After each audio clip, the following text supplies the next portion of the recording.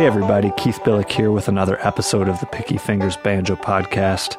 Want to take a quick minute to thank all of you who have been regular listeners to the podcast and also welcome anybody who's just checking it out for the first time. I really hope you like it.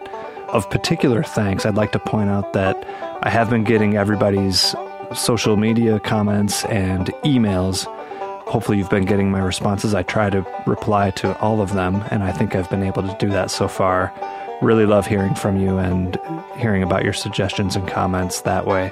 A common theme of recent comments has been, "Hey man, it's been like a month since the last episode. What uh what's going on here?" So to those of you who had those thoughts, first of all, thank you for being so anxious for the content. I definitely wanted to be a little quicker getting this one out. But if any of you are parents of school-aged children, such as myself, you know that the springtime is when you begin going to lots of track meets and orchestra concerts and soccer games and things like that. So my free time has been a little short lately. But also, I've been figuring out some new technology related to the podcast, specifically a new tablature editing program. And I'm not sure if you've noticed yet, but I've attached a tablature page along with this episode. Now, I'm not sure, this is the first time I've tried to do that, so hopefully that's showing up for you. But if anybody is having difficulty opening the tablature page, feel free to email me at pickyfingersbanjopodcast at gmail.com. That's also the email address to send me any comments or questions about the podcast. But I'd be happy to just email you directly, like a PDF of the tablature that accompanies this episode. But I guess I'm just explaining that as a as a way of pointing out that me learning that program definitely caused a little bit of delay, but I think I have it right. Uh, it should work pretty well for you. It seems to look good on my end. So uh, I guess just let me know if something's not right there, and I'll be happy to uh, clarify it or send a, a better copy to you. Also, before we start, a few announcements about some personal commitments that I have. There are two big events that I have coming up in one is the near future, one is a little further down the road. First one is the Midwest Banjo Camp. This is probably about the 15th year or so for the Midwest Banjo Camp. And what that is, is a weekend long. It's actually Thursday night through Sunday. And it's a camp hosted at a college campus, Olivet College in Michigan. And the faculty that you get, if you go to the website, MidwestBanjoCamp.com, it's uh, just a star studded faculty in terms of really well known banjo players, and there's also tracks for guitar, mandolin, bass, dobro, all the all the main bluegrass instruments. And I'm not going to bother listing you the banjo players who are going to be there, but suffice to say that it's people that you've heard of and probably some of your banjo heroes, definitely some of mine. My involvement, as I've done for quite a few years is I'm actually the sound guy. I run sound for the faculty concerts that they have on Friday and Saturday, in which each of the faculty members gets about a 10 minute set. So that's a lot of fun for me. I get to take out my microphones and mix sound for some of my banjo heroes, and it's always great music. So anybody who is in easily enough access to Olivet, Michigan, this is a, I want to say it's the second weekend of June but uh, go to the website if you need more information. That's definitely a worthwhile thing to do if you um, want some banjo immersion in your life. The second one is I've been hired as faculty actually teaching banjo for the Great Lakes Music Camp, um, which is on the coast of Lake Michigan, um, west of Grand Rapids. And that one, the website is greatlakesmusic.org. And once again, it's just a very impressive list of faculty members. I'm not going to list them because then I would forget someone and then I would feel bad. And you can just look it up if you're interested. But it's a really cool camp and um, looking forward to both of those events. So, anybody who is close enough to Michigan to participate, please do it. They both are shaping up to be fantastic weekends of instruction and music. Okay, so let's get into some of the actual content for this episode here. As you have probably seen, the title of the episode is Right Hand Boot Camp. And what I mean by that is this is a way to keep your right hand, assuming that you are a right handed player. I suppose this uh, could be left hand boot camp if any of you are southpaws. But right hand boot camp is a way to keep your right hand in shape. And the reason that it's important to keep your right hand in shape, it goes back to something that I used to tell a lot of my students in private lessons. And that is your left hand, you could have the knowledge of Bela Fleck and know all of your scales and modes and be just a, an acrobat with your left hand. But if your right hand does not pick with solid timing or with accuracy in terms of uh, hitting the right strings at the right time, none of that matters. And you are going to sound way better if you have a very solid right hand, even with some just basic left hand skills, than the other way around. In short, if your right hand is not performing well, nothing else that you do is going to matter. So it's really important to keep that right hand in shape. Another reason I think this is important is a lot of you, like me, are probably really busy with your life and you don't always have those several hours every day to practice like we wish we had. And this is something that I use uh, even to this day as often as possible to just make sure that my playing skills are being not only maintained, but hopefully even pushed a little bit. So, in this episode, you're going to learn a few things. You're going to learn the exact rolls that I practice that I think keeps my right hand ready for all of my playing situations. Some of them are common rolls, some of them are ones that I have just added to my personal practice routine. You're going to learn how I practice them in order to really strengthen my right hand and make it much more confident with my playing. And you'll learn a few other tricks that I've picked up along the way about how to really practice them in a way that helps your playing and that I see the benefits of, and I think that you will too. Now, before I go any further, I should point out that this episode, actually, the, the exercises in this episode, can apply to any level of player. I consider myself a professional level player and I use these all the time.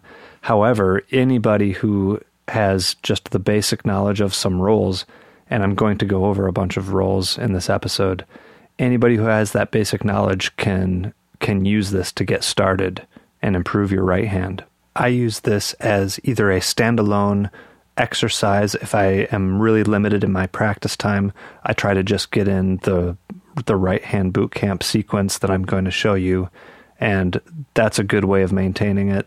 But also if even if I have a longer practice session available to me, I do this as a warm up and you'll be amazed at how good your right hand feels after you go through this um, sequence of exercises. You'll be a lot more confident and a lot more solid with your picking. So, what do we need to get started? This is where you're going to refer to the tablature sheet that I attached to the episode here. I'll go through each thing in case you're not able to follow along, but uh, it will be helpful if you have those in front of you to to check out the fingerings and everything. On this, you will see the eight roll patterns that I use that I think are the best in terms of being able to practice almost all the movements that your right hand will need to make in the course of most people's normal playing. Even though there are eight rolls on the page and eight rolls that I practice, I'm only going to go through the second half, the last four of them. And the reason for this is that I think the first four are covered pretty extensively in almost any instructional material have. Um, that would be the forward roll, the backward roll, the forward reverse, and then what I call the double thumb roll. A lot of books will call it the square roll, um, maybe some other names for it too. Those are out there. I, I am expecting that most of you are probably familiar with those or at least have easy access to a book that has those in it. Either way, they're on that tablature page that I attached, so you can refer to that. However, the next group of four, what I've labeled as the Foggy Mountain roll, the double index roll, the double middle roll, and the single string roll, those are less common, but I think they are really important to bring a balance to your playing let's dig right in on to the the first roll that I've given you in addition to those. The first one is the Foggy Mountain roll. And if you listened to episode two, the Jim Mills playing tip, you're already at least a little bit familiar with this roll. Um, if you follow along on the sheet, make sure you get the right hand fingering correct. That's actually the probably the trickiest part about this one. Um, the sequence of the roll is index, middle, thumb, middle, thumb, index, middle, thumb. So all together, it is.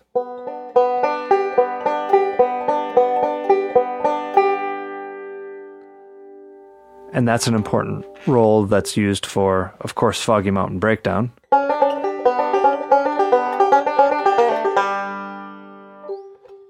But um, a lot of that Jim Mills stuff that I taught you from episode two.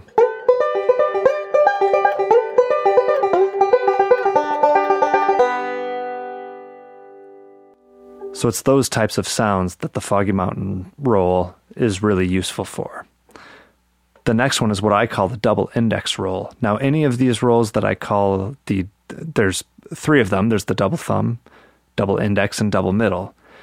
And the reason I call it that is because every other note, in this case, is the index for the double index roll, which means it actually starts on the middle, but it goes middle index, thumb index, middle index, thumb index.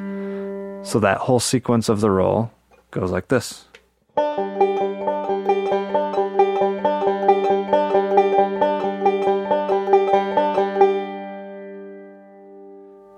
I think this is actually one of the most underrated rolls. It can be used for some really cool effects.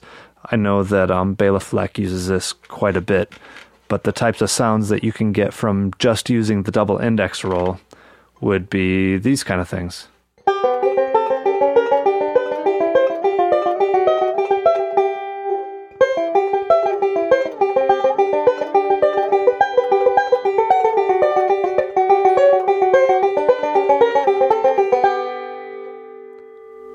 Was exclusively the double index roll.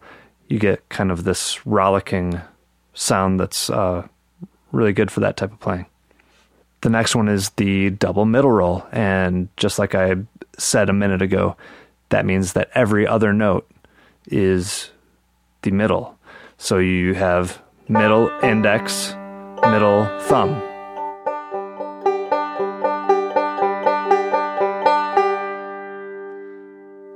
And the the trademark sound of that double middle roll, a lot of a lot of books that I've seen, if they do teach this roll, they might call it the Dillard roll because Doug Dillard, a pretty well known banjo player, was uh, pretty well known for using this quite a bit. But here's what that roll sounds like in more of a playing situation.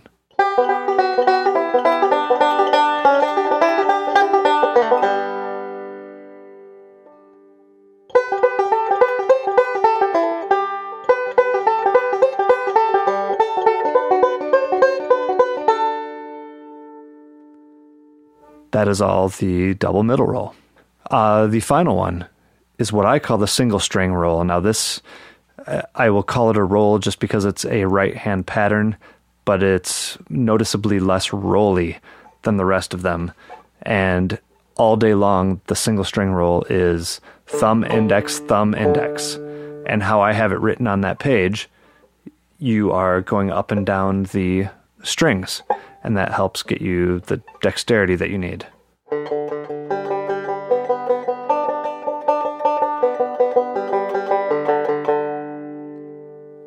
And even though you are unlikely to use that single string roll in exactly that way, I think about the, the single string roll as being very akin to using a flat pick on a guitar.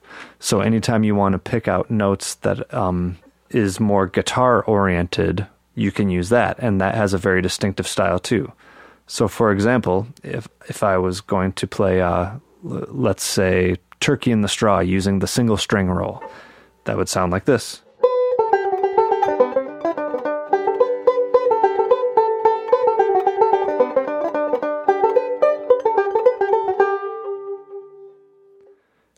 And it, it, has a lot of versatile uses. I'm not going to, it's just beyond the scope of this podcast to really get into the differences between the single string style versus Scruggs versus melodic style. But that's an area that you can explore, and having this roll as part of your practice routine will definitely prepare you for that type of playing. So there's the first task in the right hand boot camp sequence.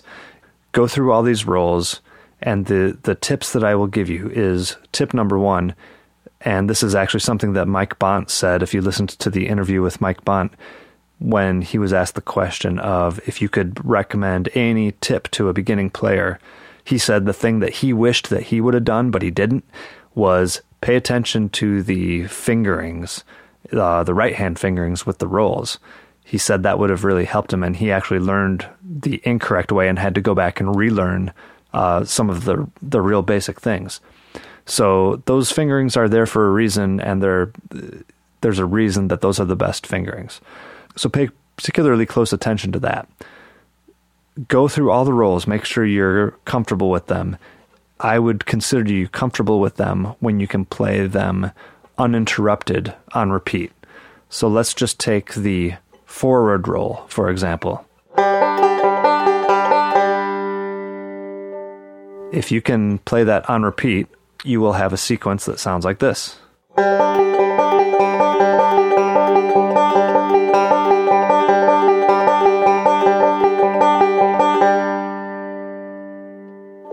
So I want you to notice a few things about the playing. I'm not pausing in between rolls. If you need to pause, such as this.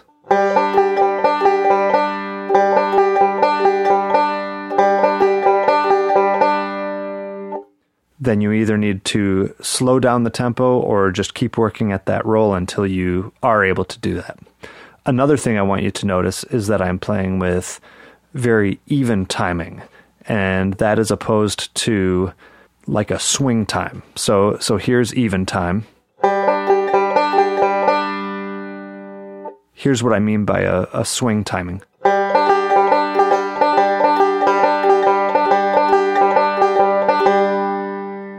Even though that is still at the same tempo, it is not a evenly spaced notes.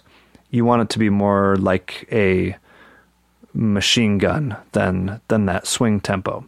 In my mind, it's easier to switch to a swing tempo if that's something you need for a song than to go the other way around after you've only practiced a swing tempo the whole time.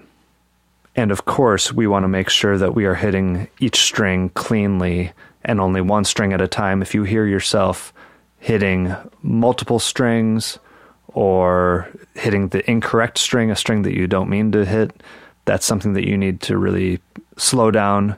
Make sure you are resting at least one finger on the head to give yourself a stable reference point and really just hone in on being able to perform these rolls straight through without uh, without too many mistakes. So you've gone through and you've practiced these rolls and you have them memorized and you can play them continuously on repeat with the proper fingering and without mistakes. What is the next step in right hand boot camp? For the next step, what you're going to need is a metronome or a metronome, I guess what I'll call a metronome substitute. The metronome substitute that I use is a computer program and it's called Band in a Box. And what Band in a Box is, is it's a programmable metronome. And you can program in chord changes and different rhythm patterns and of course the speed as with the, as with all metronomes. But even if you're just stuck with, you know, an old school metronome that sits on your table, or perhaps a metronome app. I believe that there are probably a million of those that you can get. They all serve the same purpose, and which is keeping steady time. And that's what Right Hand Boot Camp is really all about: is keeping really steady time, practicing all these rolls. So for the rest of this episode, I'm going to be using my Band in a Box program as an example, but pretty much everything I'm doing is going to apply the same whether or not you have that program and regardless of what type of metronome you're choosing to use. The first step is going to be find a tempo at which you can perform all of all eight of the rolls um, without making mistakes. In fact, once you find that tempo, it might be useful to actually start a bit even slower than that. Practicing slow rolls is actually very good for your timing too. Some numbers just to give you an idea. When I start my practicing, I start at 108 BPM, and that is a slower medium tempo.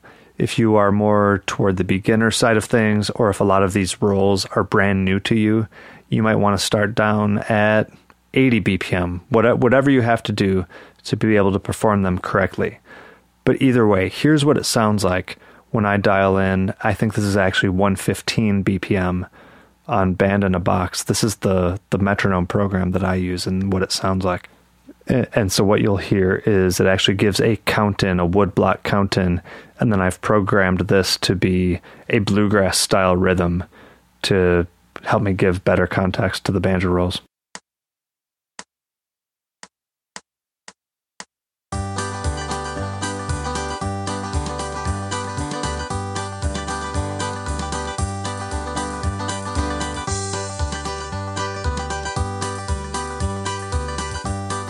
So, as you can hear, it's not the uh, most authentic bluegrass band sound. It's a little video gamey, but to my ears, it's a bit more pleasant than listening to a standard tick tock or just uh, clapping sound of most metronomes. So I'm willing to deal with it to, to help me practice. So, what I'm going to do now is I'm going to start that metronome sequence over again, and you'll hear what it sounds like to play a forward roll right along with this 115 BPM uh, metronome. And like I said, it doesn't matter if you have this program or an app or a tabletop metronome. Just listen, focus in on the on the tempo, and try to sync your roll playing up exactly with uh, that tempo to get a really steady timing.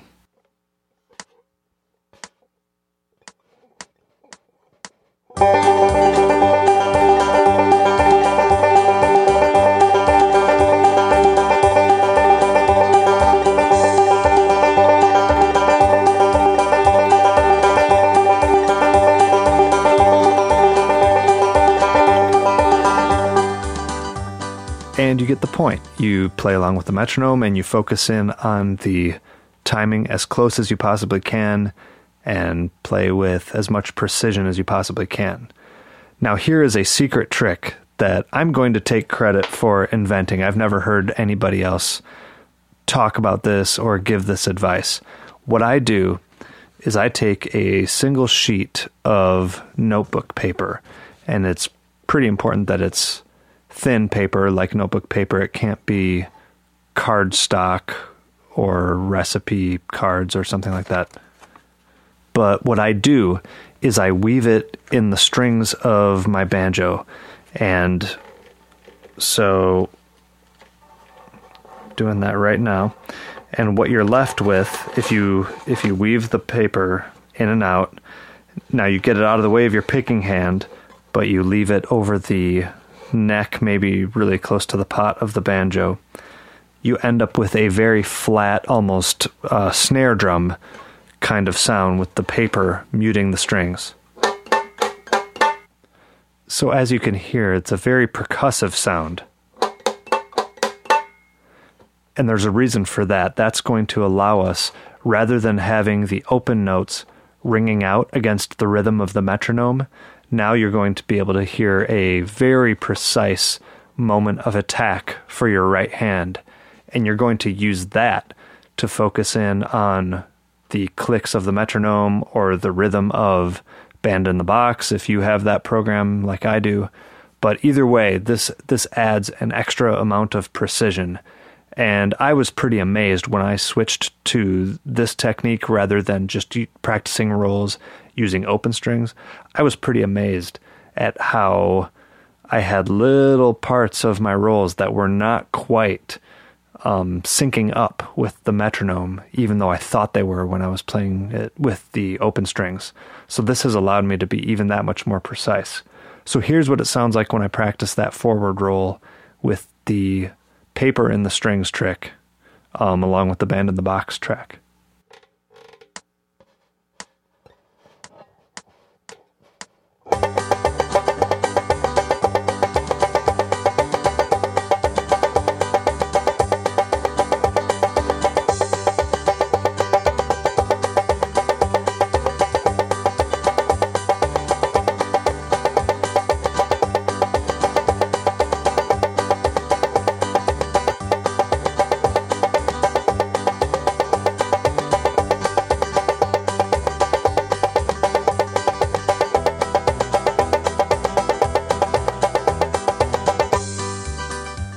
So, even though this might be the most obnoxious sounding podcast ever, hopefully you recognize how much that helps you hone in on the exact rhythm to have that paper woven in between the strings. I felt like it really helped me. Now, if if you noticed at the very end there, the backup chords with the band in the box switched to a minor chord, and that's for a very specific reason. And part of the reason that I like Band in the Box is that you can program it. And how I've programmed it, I have eight rolls that I practice, the, the rolls that I gave you on those uh, sheets. So I can program it to do eight loops of 16 measures each. And the way I signal to myself that it's almost time to switch rolls is it switches to that minor chord. And that tells me, okay, I'm about to switch to the next roll. So if I was just practicing the forward roll, the next one would be the backward roll, and then to the forward reverse. And then it keeps on going through all eight rolls. And when I'm done, then what I do is I speed it up a little bit. I mentioned that I start at 108 BPM. I go in increments of seven. I'm not sure how I ended up deciding that. It's just how I do it. You can you can choose whatever increments you want or whatever increments your metronome has. But I find seven to be a, a big enough bump up that it's a, a noticeable increase in speed, but not so much that it doesn't allow me to gradually warm up to each roll. And I also told you to start at a tempo in which you can perform all of the rolls all the way through it's not too hard to envision that as you speed up, you are going to find certain rolls that you're better at and certain rolls that you are perhaps a little weaker at. That's totally normal. However, I would encourage you to do as best as you can to bring these rolls along evenly. There would be nothing worse than playing perhaps an up tempo song in a way that you're comfortable with, but then maybe you get to a certain section that you have to play a certain way, and ooh, you didn't practice that specific right hand maneuver at that tempo, and that's your weak spot, and so your timing suffers in the middle of a song. We don't want that. We want you to be able to seamlessly go from one right hand pattern to the other at any tempo, hopefully with equal comfort between each type of roll. That being said, it's going to happen. For me, the double index roll happens to be the one at which I notice um, falls off the quickest. So the double index roll is this. And what I do when I'm practicing this, if I get to a certain speed at which I don't think I can play the double index roll continuously throughout the whole thing, I'll break it up from full speed to half speed. So if I'm if I don't feel like I'm playing up to tempo, this is what I will end up doing.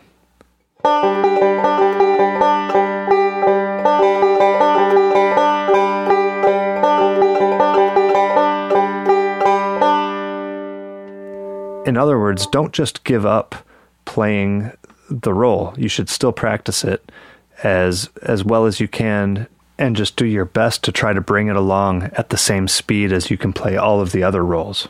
So, in summary, what I do is I start out at 108 BPM. I stick that piece of paper in the strings of the instrument. I play through all the rolls for 16 measures each at 108. After that, I move up, like I said, by increments of seven. So that's 115, then 122, then 129, then 136. I'm sorry, you were told there would be no math, but here we are and I keep doing that as as long as I possibly can and I'd really try to push myself to push the tempo because that's how we improve is by continuing to play just a little bit on the edge of our of our comfort zone in terms of what speed we can handle. Um, another important thing is after you finish, let's say just at 108 BPM, make sure you take a, a short break. Stretch your wrist, stretch your forearm, stretch your fingers. You don't want to have any pain involved in this. And if you are experiencing pain, probably a good time to to stop and don't push yourself too much. You don't want to get hurt. But as much as you can, really try to persevere through these excessive speeds. So just to give you some landmark speed markers, I usually consider 120 to be a normal upbeat bluegrass tempo. Once you get into about 140 to 150, that is fast bluegrass tempo. Once you get up to about 160 and higher, that's when you hear the the serious professional Michael Cleveland, IIIrd Tyme Out, their blazing bluegrass songs are are up in that 160 to 170 range, maybe even sometimes about 180 for the very very tip top. So that's how you can measure your playing. If you if you are topping out at about 120, that's getting you to a good upbeat bluegrass tempo if you can get to 150, you're going to be able to play most things for most situations with that kind of speed. Great job if that describes you because I practice this stuff all the time and it's a, a really good day if I can play all of these rolls up at 150 and higher. Typically, some of them fall off and I have to do that halftime trick. So I think that's going to do it for Right Hand Boot Camp and for this episode of the Picky Fingers Banjo podcast right hand boot camp is a pretty simple concept, but I think you'll really be amazed at how confident your playing will will feel if you take the time to go through this battery of exercises, especially if you can manage to try to do this every day. I think you'll find that when you start playing, your right hand will feel better right off the bat than um, if you hadn't done all these warm ups. So, just to do one more recap, look at those sheets that I attached to this file and learn all eight of those rolls. A lot of those are going to be different than when you than what you typically learn in any of the books that might be out there. But I think they cover most of the different moves that your right hand is going to be called upon to do. Practice those all so that you can play them continuously without pausing in between, just on loop. Uh, pay attention to the fingering on those pages. Refer to the sheet if you need to and then, of course, the main thing is play all the notes with clean and steady picking. That's the whole point of this. And if you are uh, fumbling around hitting incorrect strings, then that's that's a sign that you need to to slow these down and take more time and make sure you are being as precise as uh, as possible. Uh, the next step: get a metronome or an app or program that that keeps good steady time find the speed at which you can play all of the eight rolls very comfortably. The next step, which is what I took all the credit for as being my idea, but I think it's really important. Weave that piece of notebook paper in your strings. This whole exercise will be pay- played with that notebook paper and the strings. That really helps you go the extra step in focusing in on the precision of your right hand timing again, that's the whole point of this is to be as precise with your right hand as possible. And that piece of paper allows you to do that. Then play each of the rolls 16 times through, or at least that's what I do. You could do longer if you want, but I think 16 feels like a good amount of practicing, but still short enough that you'll you can get through them all in a, a half hour practice session or so. Then gradually increase the speed. I kind of mentioned 5 to 8 BPM as a good increment to feel like you're bumping it up, but um, allow you to acclimate to each increased speed and keep pushing yourself. Another aspect of this is that you will increase right hand accuracy, but you will also increase your speed. And that's what happens if you keep pushing the, the tempo on your metronome. You'll notice that the slower speeds that you used to start at are going to keep getting easier and easier as your right hand strengthens. So that's going to wrap it up there, folks. Thanks again for listening to this episode of the Picky Fingers Banjo Podcast. If you need anything, if you need me to email you a PDF of the roll patterns that I talked about, email me at pickyfingersbanjopodcast at gmail.com. That's also the address that you can email any of your comments or questions or feedback about this or any other episode. Always enjoy hearing from you, and I do try to respond to every email that I get about the podcast. And I'd especially love to hear about people's experience trying this new right hand boot camp that I just talked about. Tell me if it's improving your playing or maybe you hate it. Either way, uh, feel free to reach out, and I look forward to that. So that does it for me. Thanks again, and I'll see you next time.